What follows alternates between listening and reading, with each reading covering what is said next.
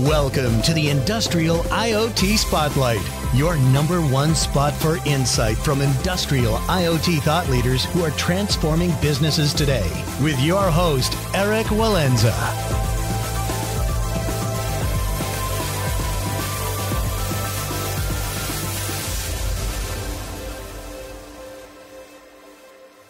Welcome back to the Industrial IoT Spotlight podcast. I'm your host, Erik Walenza, CEO of IoT One the consultancy that helps companies create value from data to accelerate growth. And our guest today is Ivo Rook, COO and president of 1NCE. 1NCE is the only provider of connectivity and software for IoT at a global flat rate, offering fast, secure, and reliable cellular connectivity and services in more than 110 countries. In this talk, we discuss the change factors in IoT adoption and in the telecommunications industry that enable the 1NCE business model to find a ready market today. And we also explored the non technical challenges related to scaling IoT, such as business case economics, servicing costs, supply chains, and the overall need for simplicity. If you find these conversations valuable, please leave us a comment and a five star review. And if you'd like to share your company's story or recommend a speaker, you can email us at team at iot1.com. Finally, if you have an IoT research, strategy, or training initiative that you'd like to discuss, you can email me directly at erik.walenza at iot1.com. Thank you. Ivo, thank you for joining us on the podcast today. Hi, Erik. Thank you. So nice to be here.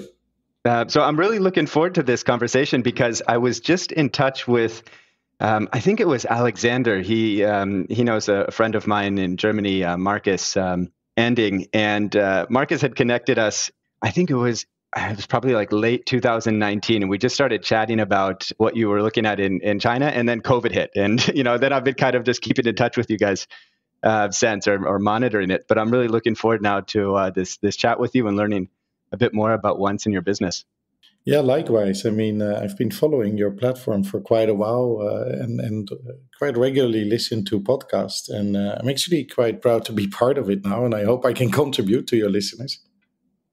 Yeah, no, I, I think this will be really an interesting conversation. And I mean, just starting with your background, uh, I think there's nobody better to talk about on this topic than you. You've got this incredible background of CEO IoT for Vodafone, SVP IoT for Sprint, EVP IoT for T Systems. So certainly you're you're the person to talk to. And it seems like I think what was it back in 2000, 1996, at least on LinkedIn here, that was where I see your first touch point with the telco industry. What was it about uh, telco that drew you to the industry? Yeah, I mean, let's start with the end. I mean, I now uh, am the COO of 1NCE, uh, which is a company that uh, has a, a very clear mission. Our mission is to really make sure that customers can use and deploy IoT sensors worldwide at a fraction of the cost that it previously was possible without compromising any quality. I'm sure we'll get into that much later, but kind of 25 years of telcos, you make me sound old, but uh, let's call it experienced. I have really seen it all. I've worked for really big companies in that perspective. I've done wireline, I've done mobile, I've done IoT. And I always think that IoT is kind of the pinnacle of telecommunication because it combines the relevance of networking from the wireline, connecting B2B data centers, super mission critical data for customers but it also combines um, everything from mobile. You know, mobile is a, a, great technology with the potential to provide connectivity basically anywhere in the world. But when you look at how the very big companies um, commercialize that in a way, uh, especially in mobile, it's it's mostly domestic. And when I looked at my career and I got into IoT, I got really inspired by what our customers were doing with IoT. And they were they were really changing the world. And they were allowing things that previously weren't happening.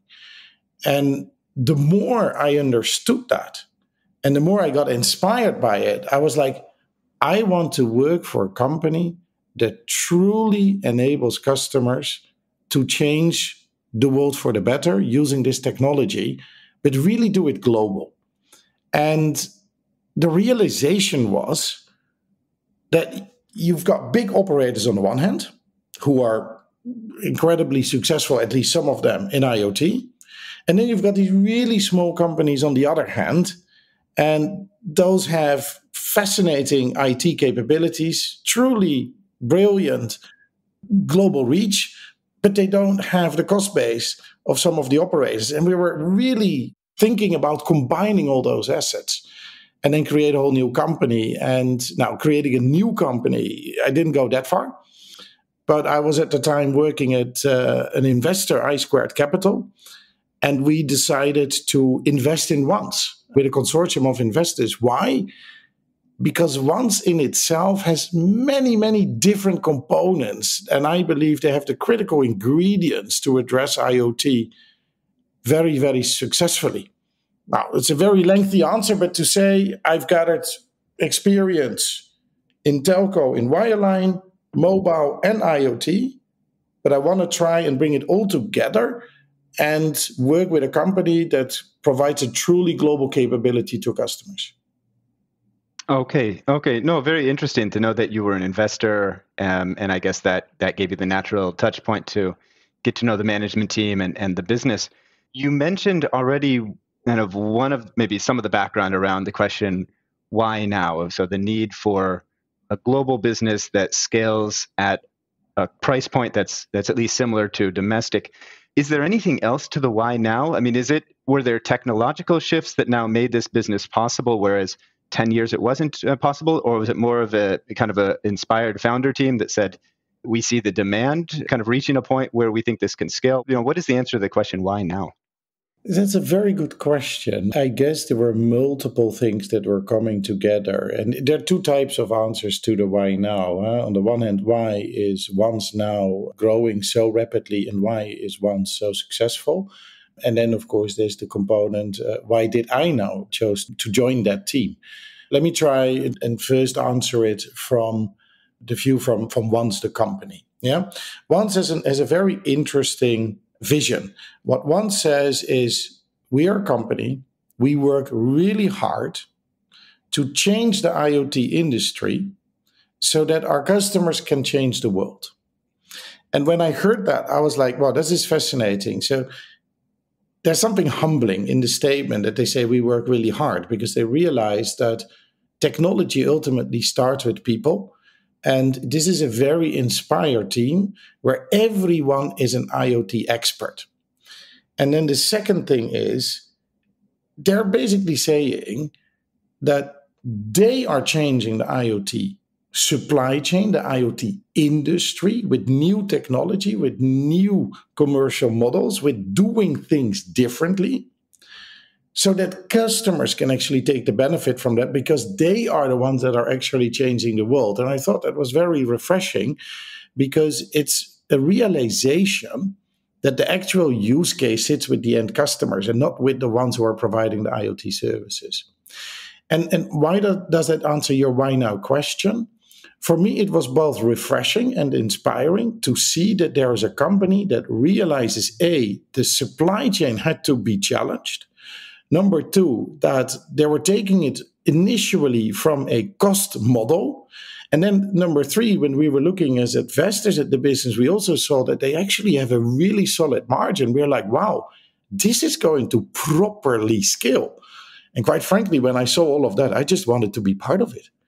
And and we're doing it right now. And it's fascinating. I mean, I'm I'm almost a year at the company, and the more I learn about it, the more I learn about the vision of the founder, the, the, the, the execution of our CTO, Eunice, who is a, a brilliant but also a very passionate IoT expert, and the confidence that we get from our investors. But most important, we're winning more than 300 customers a month digitally online. And we have customers that, of course, we uh, win uh, through direct sales. And we're doing three times the revenue this year, and we're going to go three times again next year. It's it's it's quite fascinating. Wow. Yeah. No, that's an incredible growth record. And it's eh, what it was in 2017 that the business was established. Am I am I getting that right? I mean, it's still quite a young business. It's a beautiful. It's not a story. It's it's it's a very good track record of having a simple vision, ruthlessly executing it, but making sure that when you are, with all respect, but still a smaller company, you always need to take care of three things. Number one, you have to make sure that you're providing a solution to an actual problem. Yeah, if you need to look for customers and you can't convince them within 30 seconds, you're probably not onto something. And you got to be honest to yourself about that. And and 1NCE has that. Then number two is your technology should never be just a stitched together network of vendors. Yeah, you have to keep yourself honest. You have to develop your own stuff. Why is that? Because you need to keep your independence, you need to keep your cost under control, and you need to control your own scalability. And then number three, boring as it may sound, it's also mission critical. You need to build a financial structure of the company that balances financial interest to keep your, you know, your yourself honest on the fundamentals but also with strategic investors that help you go faster because they can either help you on the cost side or they can help you on the on the demand side by buying also services from you. And and 1NCE has done that very cleverly. They've always balanced the financial concept with strategic investors and really good execution. Yeah, got it. Yeah, and I can see you guys are on a tear right now. I mean, I Crunchbase obviously doesn't have all the, the data in the world, but it looks like you guys are raising a another round every uh, every five or six months. So obviously, financing this type of growth is that's an effort in itself. But I'm really looking forward to getting into the business model, into the tech stack. Before we go there, let's start simple. Let's talk about your your customers and your value proposition. So you mentioned you have uh, 300 customers coming online, so that makes me feel like uh, you're able to work with smaller companies that can place orders, uh, and then you know, I'm sure you have kind of larger enterprise accounts as well. So who are they, and then what's your value proposition to these customers? Yeah, let, us start about the customers from ones first. They have one thing in common, and that is that most of our customers are found and served 100% digitally. And that goes for really small customers and really large customers. One of the beauties of the ones model is that we basically all serve them the same. Because in IoT, you never know who is a small customer uh, and who is a big customer, because some of the smaller companies are some of your largest users and the other way around. So we have more than 7,000 customers in total, and we win about 300 customers online each month. Now, when you uh, talk about the value proposition, if I were to say it very simple and, very quick, we allow our customers to deploy and manage a connected sensor anywhere in the world for 10 years for 10 euros or $10 if you're in the US. We're expanding that now also to be available to Asian customers. So we were a European company until two years ago. We started expanding last year, and this year we have gone from Europe to being present all around the USA, all around Asia, and we're moving into LATAM soon as well. The value prop, therefore, is the ability to manage a sensor deployed anywhere in the world for a dollar a year, bought and sold and serviced throughout the world. So you need to be truly global with having technicians all around the world and the ability to manage that device for 10 years. So there's a lot of focus always on the cost and the data. But what we always say is it's not just the data routing. It is the ability to deploy and manage over a timeline of 10 years for a very low cost. And we also pointed out to our customers we have to be in a position to do that and make a margin. Because if we wouldn't be making a margin, then our model wouldn't be scalable. And I tell you, we deploy this, and for a dollar a year, we still make a very solid margin. Okay. Yeah, it's a brilliant model because, I mean, probably, uh, I don't know, 10 years ago, certainly 20 years ago, anything that was being connected to cellular would be a fairly significant hardware investment. And now we're talking, I mean, we're connecting things that cost dollars, right? Uh, devices that cost dollars, maybe tens of dollars. And so the cost is, in many cases, it's not the device. The cost is all of the, you know, it's deploying the device, it's maintaining the device, it's maintaining connectivity to the device. And, and these are all the things that it sounds like you guys are simplifying, right? So no need to go and, and change, uh, kind of change cellular, no need to kind of uh, have that, that labor uh, overhead um, that, you know, that used to be a smaller fraction, now is, is often a, the larger fraction of the total cost of a solution.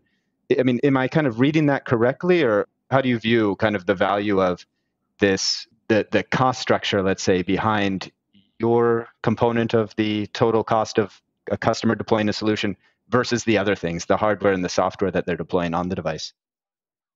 You're, you're actually spot on. As a matter of fact, um, our company is called 1NCE for that very reason. We're kind of obsessed with avoiding a second truck roll for your network. And uh, we, uh, we really say the sensor should only be deployed once in its lifetime.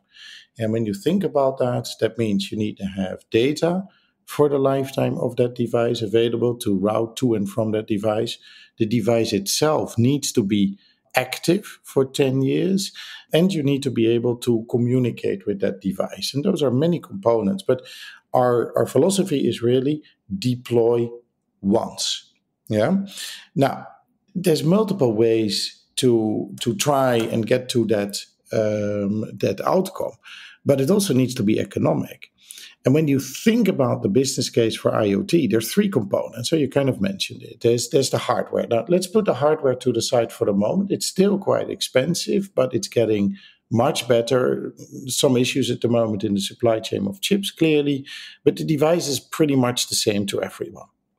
There are two big components. One is some, uh, mostly overestimated, and the other one is underestimated. There's software and connectivity. And when you connect on a cellular network, everybody is always obsessed with the cost of data.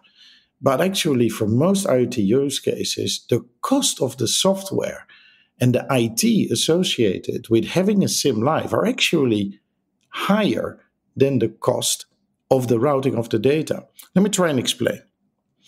A cellular network has always been provided by operators. Now, operators have never built cellular networks with IoT in mind. And good on them. Uh, they've done it for phones. It's brilliant technology. The world would not be the same if they did not support the smartphones. So, operators have built these networks for phones. That, however, has two disadvantages. One is that the average revenue per phone per month is around 20 euro when you're in uh, in Europe and about 40 dollars when you're in the USA and somewhere in between that in Asia. Now, when you build a network and you anticipate that every connection rent is anywhere north of 20, south of 40 dollars a month, clearly you have a certain cost associated with that as well. And then the second thing is Operators are domestic players. They monetize their domestic ownership of the spectrum that they bought through the auctions. The problem with IoT is, first of all, it doesn't generate 20 to 40 dollars in revenue per month per device. You're lucky if you were to, you know, uh, generate, a, you know, a dollar. In our case, a dollar a year. But the IT cost of being an operator and having a registered SIM inside an operator are already five to six dollars a year. Why is that?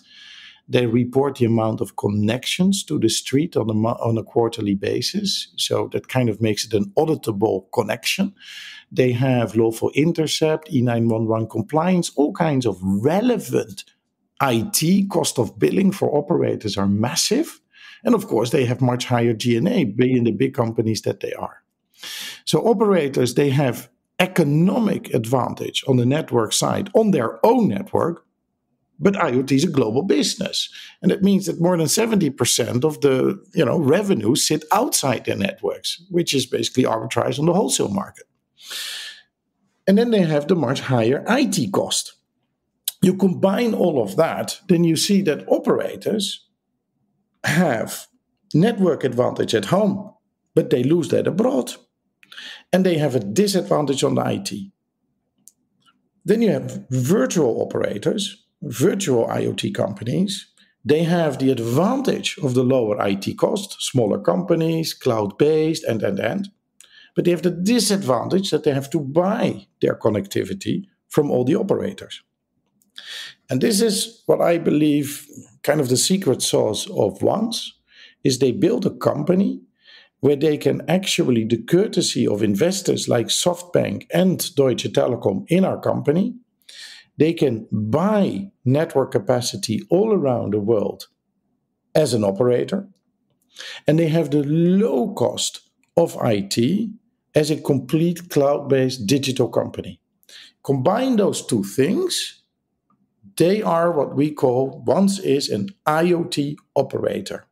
Very low cost of data and incredibly low cost of IT. And that allows us to deploy a sensor anywhere in the world for 10 years for 10 bucks.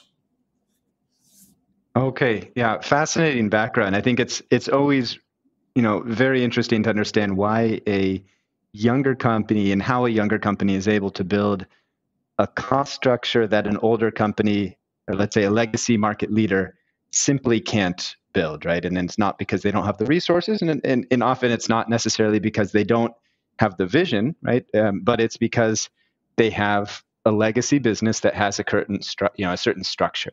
Um, and uh, this is a fascinating case study, I think, in, um, in building a business that simply couldn't be built by, you know, a legacy company. And obviously, they've recognized this and and seen you as a, a great investment and a great partner. Um, let's make this a bit more tangible on the use case side. So we've already crossed off mobile. You're, you're not going to be my mobile service provider, although I would I would love that. Um, um, I guess some things like um, street cameras probably are not going to be on the list as well. So streaming video data, uh, you know, I think that would kill your cost structure. I'm sure there's I mean there's got to be a tremendous long tail of use cases or different you know product categories that are using the 1NCE network but maybe we can cherry pick a couple of the more common uh, categories what would be a great use case for 1NCE yeah uh, by the way let me uh, uh correct one thing we actually yeah. do have use cases with cameras and they work oh, really okay. well i'll try and explain that obviously not at completely the same price point but close to it um, now, there's multiple use cases. Um, what matters, of course, for us is that most of our customers are truly global companies. What I like to mention uh, are smaller companies that are big suppliers in smart cities and smart lighting.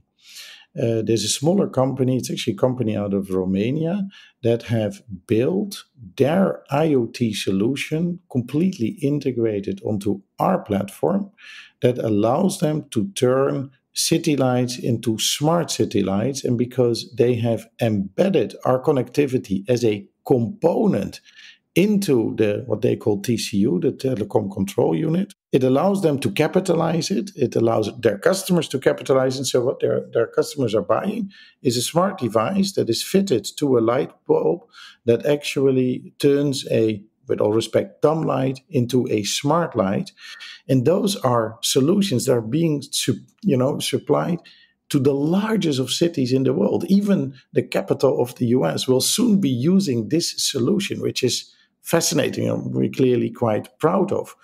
The ingredients are very interesting. Number one, complete integration between our platform and our customer.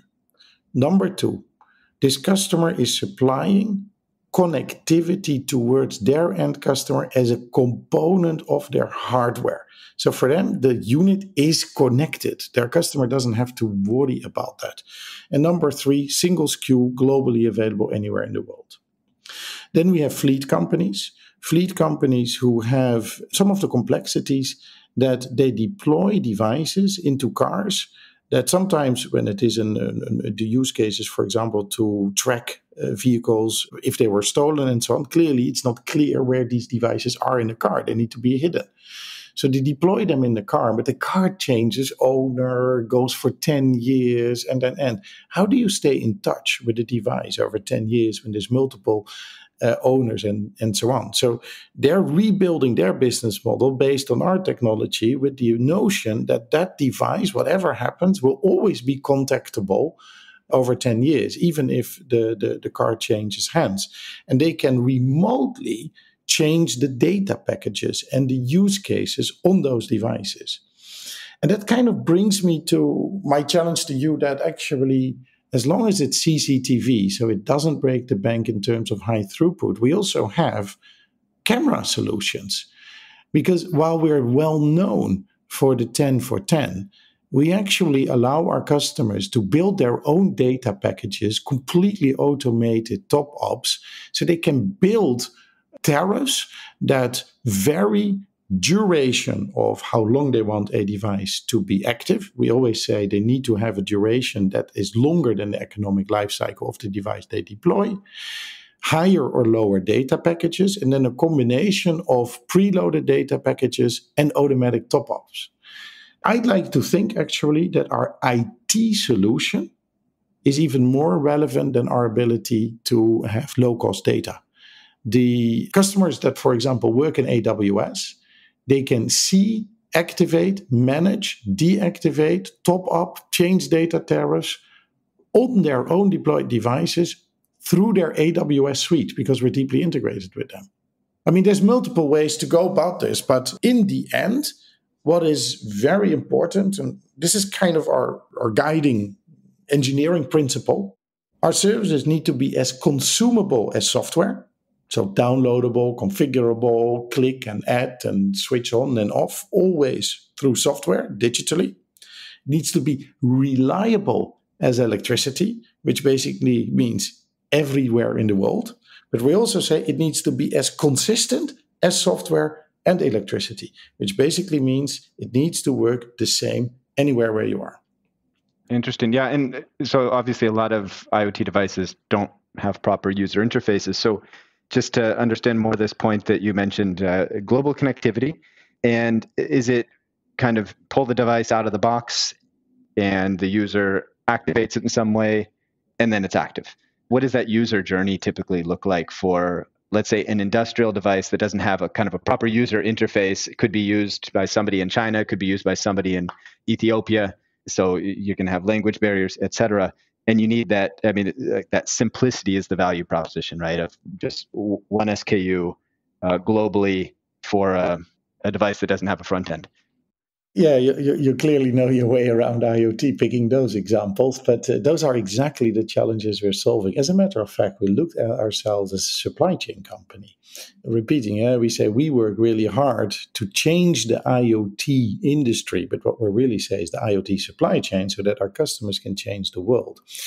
Now, it's since we have built this company with a myopic focus on IoT, we've actually disrupted the supply chain of IoT.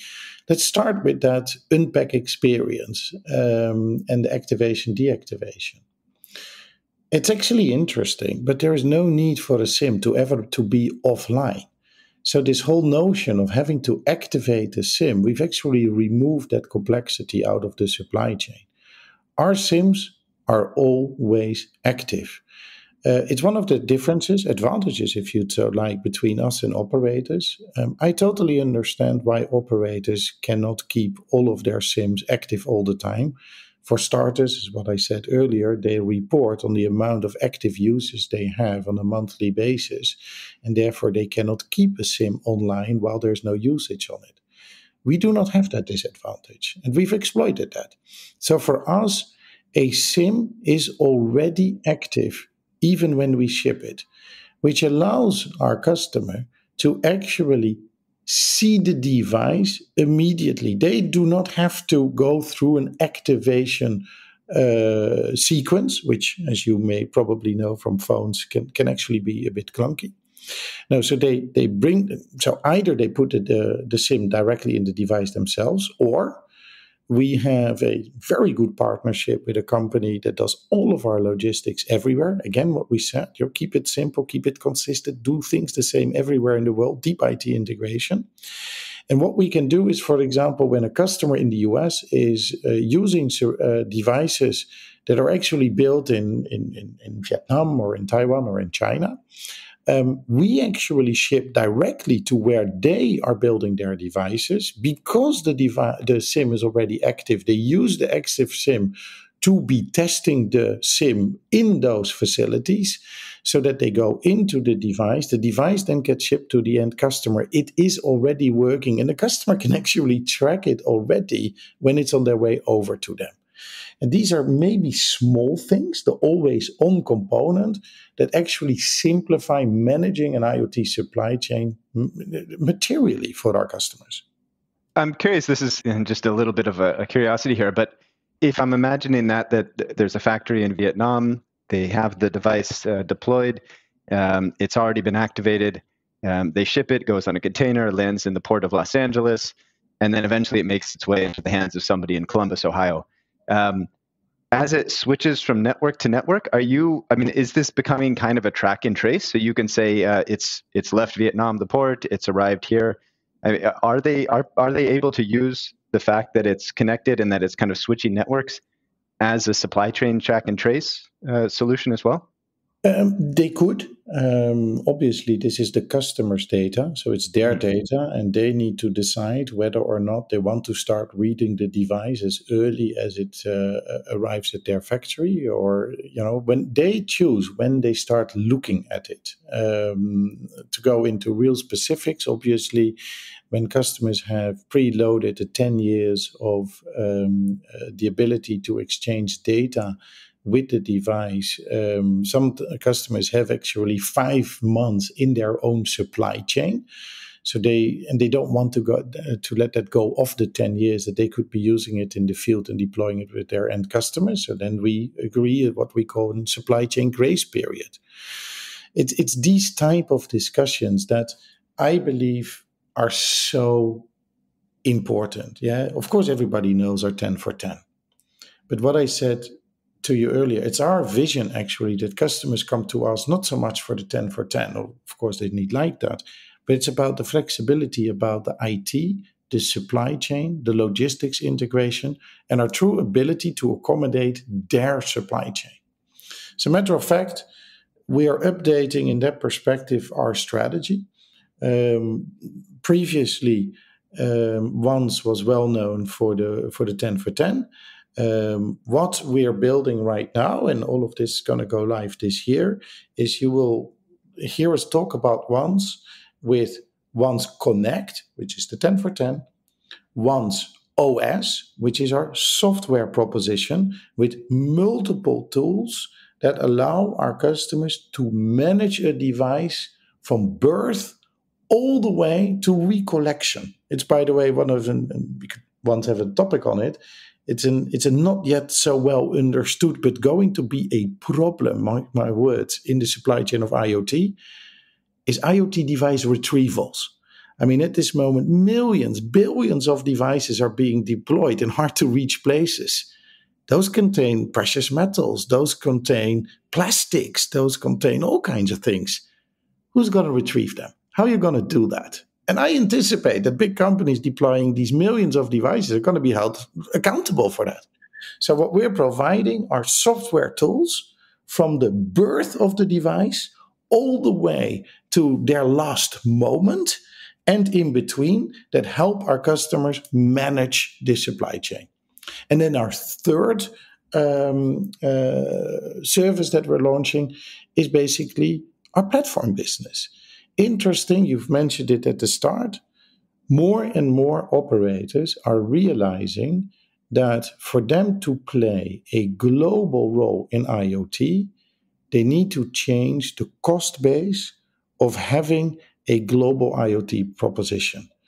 Uh, running it on their domestic network, just leaning on their roaming rates, and then having a very heavy over the top domestic deployed IoT platform with typical vendors, it's just not economic for them. And they're starting to lose uh, business towards the more agile, smaller companies, the MVNOs, for which for whom I have a lot of respect. It basically is the following is happening in the world. Any IoT use case where the software cost are higher than the network cost, at this moment, MVNOs have better cards than operators. And therefore, what you see is that more and more operators are actually interesting to cooperate with us, us being their distributor, even including connectivity of an IoT system, allowing them to have the same low cost offering in their portfolio. So, 1NCE going forward has three main product lines. 1NCE Connect, that is our lifeblood. 1NCE OS, which are software tools, and the 1NCE Platform, available to operators to exploit it to build their own portfolios.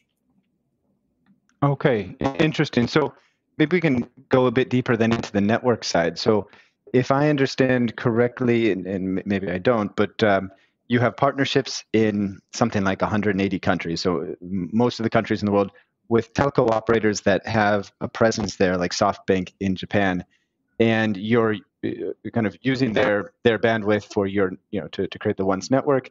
You know, first of all, is that kind of is that correct? Is that every time you go into a country, you have a partnership with one or more telco operators there, and that's how you are able to serve in that country? And then the second question would be, is that separate from this point that you just mentioned of, of telco operators using the 1NCE platform. So are, is it that they're also then building other services that they're directly selling, but using your technology as the uh, kind of as the back end there? Yes, I, I can't go in too many details, but I can give you the, the theory behind it um, and the practice.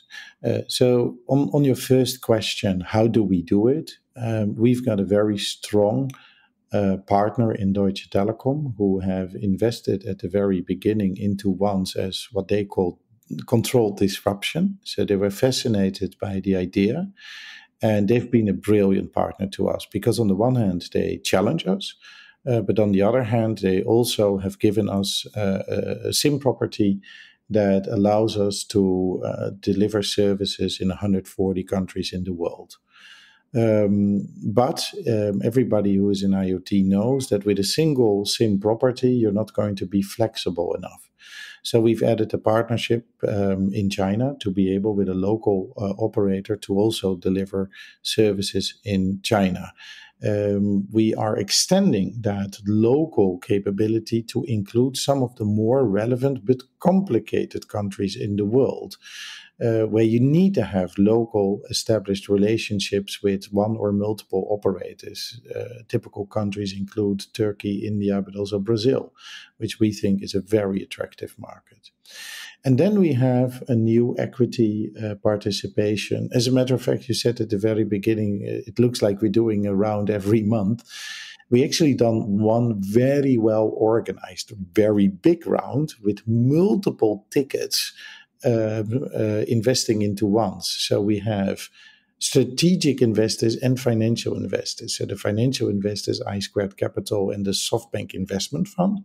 But then quite rapidly thereafter came the strategic investors with Deutsche Telekom increasing their stake and the SoftBank operator stepping into 1NCE. And that allows us initially to deliver our services, including connectivity towards the like of SoftBank Obviously, we use the SoftBank network in Japan, but also others. But to build together with SoftBank an extension of our footprint.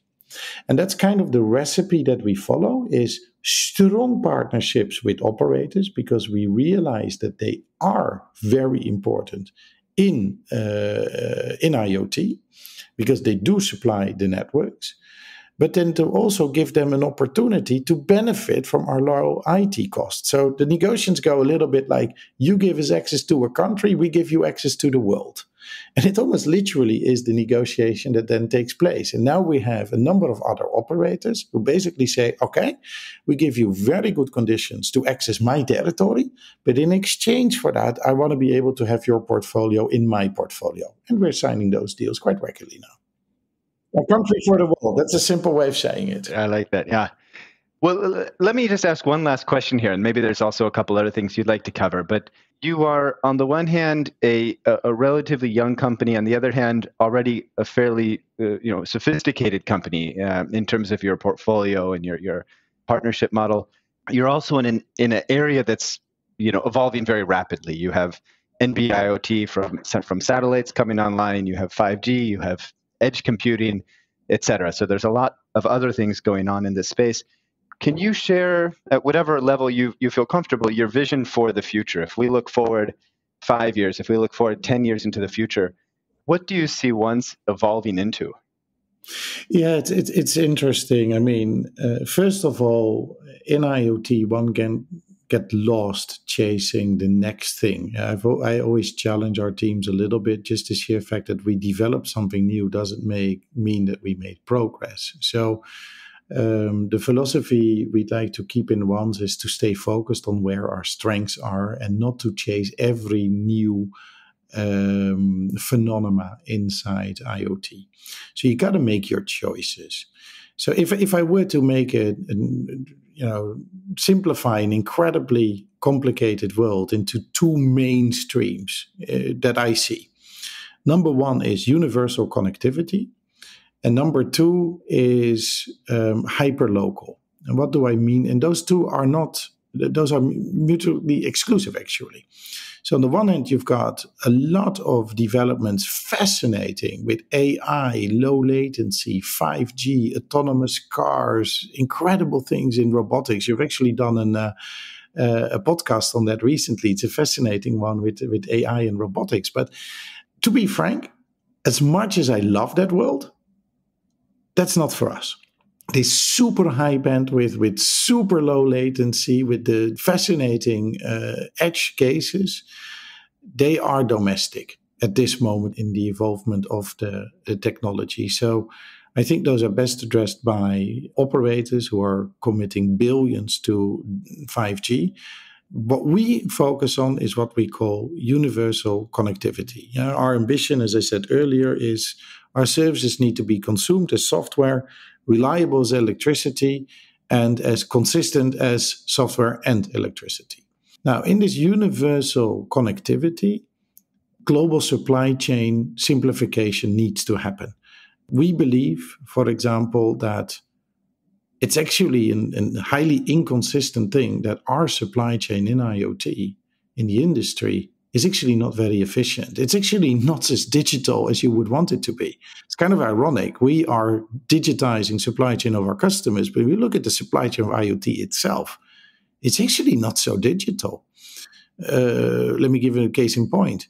We're still shipping plastic SIMs. I mean, when you think about it, how crazy is that? We're shipping plastic SIMs that contain a chip that are going to be chucked into devices that have plenty of chips available that could easily host the credentials that we put on our chip. So we're embracing EUICC, but we don't believe EUICC is going far enough. We actually, at some point, want to eradicate the complete physical shipping out of our supply chain. So that's one thing, thing for the future that we're investing a lot of time and uh, in partnership money on.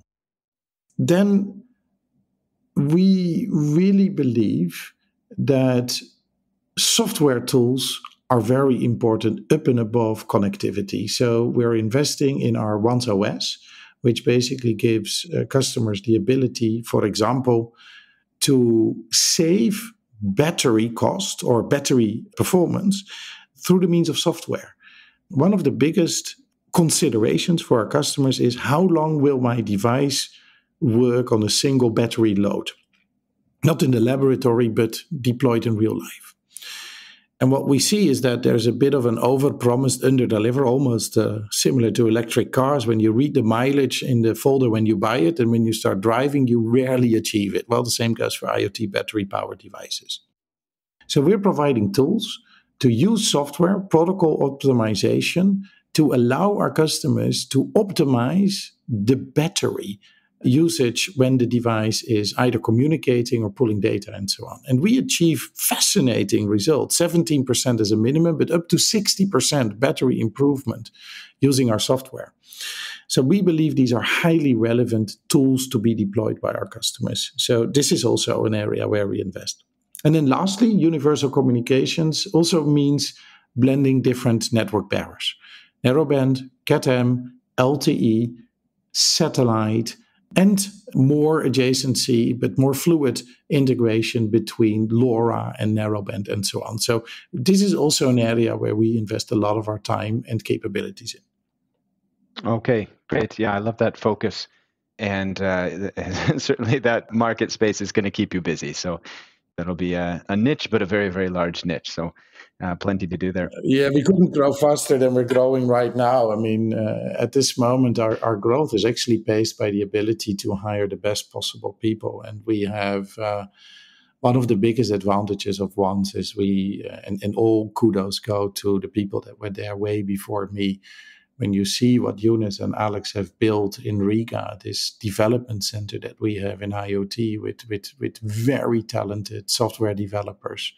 We're now also building a development center in Uruguay to be sure that we are mitigated of not only having software development in one part of the world. Um, so now we have one in another part in the world the the real real credit goes to those people who build our own capabilities and allow us to be an independent player with our own software at low cost high flexibility. And then we just need to focus it. Yeah we our our real strength at this moment is to be one of the truly global players that's why we now have offices in Miami, we have offices in Tokyo, we're opening in Singapore, we are all around Europe clearly. We're going to go to uh, Uruguay, we're there already. We're looking uh, at potentially going into Sao Paulo, um, and we're just getting started. Yeah, great. Well, maybe that's a good uh, good place for me to ask you how folks could get in touch because we certainly have plenty of potential customers uh, listening, but I think we also have a lot of people that could be either joining the team or exploring how to partner with 1NCE. So, what's the best way from these different perspectives for people to learn more and, and then potentially to get in touch with the 1NCE team? We have, uh, again, here we make choices. We have chosen LinkedIn. Um, you could argue if that was the right choice or not, because quite frankly, LinkedIn, um, I don't know anymore if it is for business context or just for advertising. But um, we have a well maintained LinkedIn page where people will see our job openings, regular updates on our technology. So that's the most powerful source. Ultimately, what I always tell people if you want to be part, of making sure that IoT becomes a global optimized supply chain that allow many, many super clever companies to change the world for the better, then come and join us. We're always looking for people. Uh, here's our hiring philosophy we hire for confidence. But in our world, confidence can only come out of two sources, preferably from both experience, so that people are you know not doing it for the first time and expertise. So they really know what they're talking about. We always look for people that are confident based on experience and expertise. This is our vision. I mean we believe iot can scale. Iot should scale. We have removed the cost barrier. We are removing supply chain issues. We're optimizing through software whether that is battery management or being able to pinpoint where a device is without having to use GPS.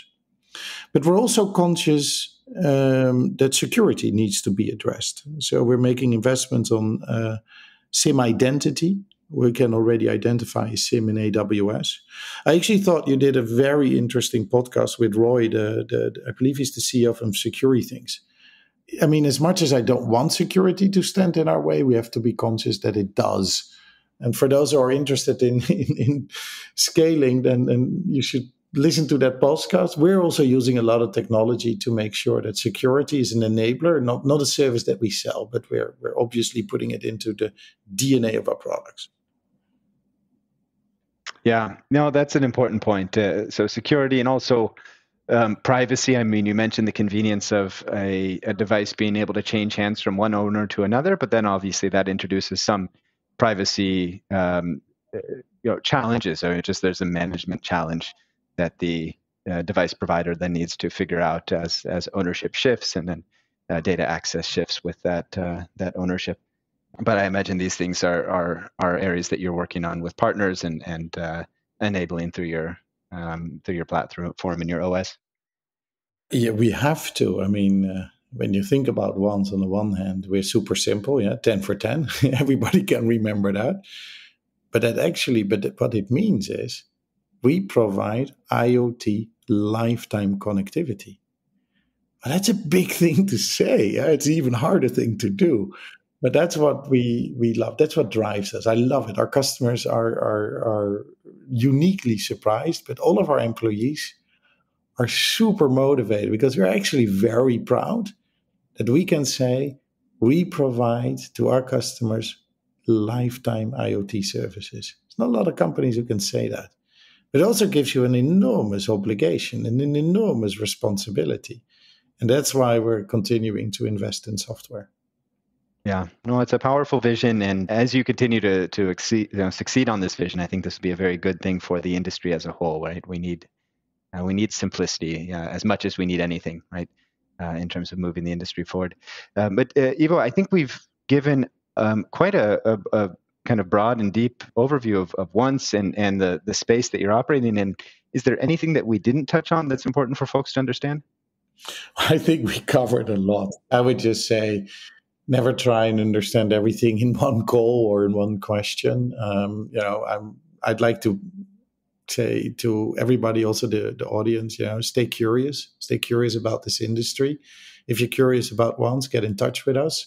Um, and but but also see technology as a tool. Yeah, I don't know what it is because big tech always sounds like it's become a purpose. Frankly, it's not its tool. You know, one of the most universal languages in the world nowadays is coding. And with coding, you can do incredible things. But let's just make sure that we focus on what really matters, and that is to improve physical life for our planet, for our people, uh, for for you know doing good stuff, um, being inclusive, uh, developing use cases that actually help us use a little bit less natural resources. That's the stuff that really matters. And ultimately, tech is not a purpose. Tech is a tool to make that happen. If we all become a little bit more digital, we all become a little bit more efficient. I'd like to think we've just done all a little bit enough to make this place a better place. Yeah, great. Well, that's a great thought to end on. Uh, Ivo, thank you again. Really appreciate your time today. Thank you so much, Erik. Uh, I enjoyed it a lot and uh, hopefully back sometime. Absolutely. Let's talk in a year or two. Thanks for tuning in to another edition of the Industrial IoT Spotlight. Don't forget to follow us on Twitter at IoT1HQ and to check out our database of case studies on IoT1.com. If you have unique insight or a project deployment story to share, we'd love to feature you on a future edition. Write us at eric.walenza at iot1.com.